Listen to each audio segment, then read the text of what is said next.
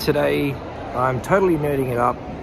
I am at the Melbourne Museum for a Lego exhibition that they call Brictionary. And uh, for those who follow my other channel, you may have seen I do videos of brick building and uh, Lego sets and stuff like that. So I had to come and check this out because I love Lego.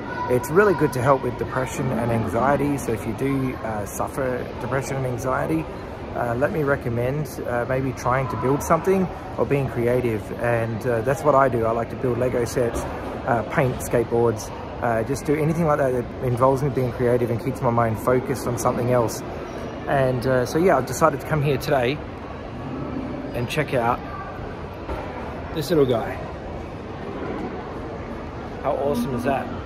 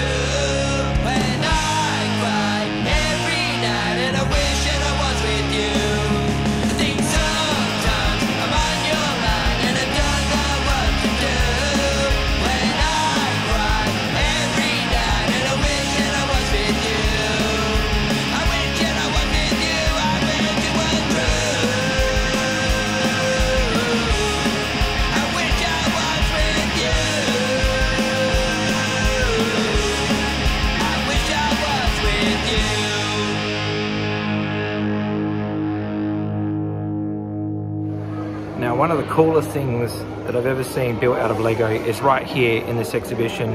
And I have to show it to you because Psycho is one of the greatest movies ever. And they've actually made the Bates Motel.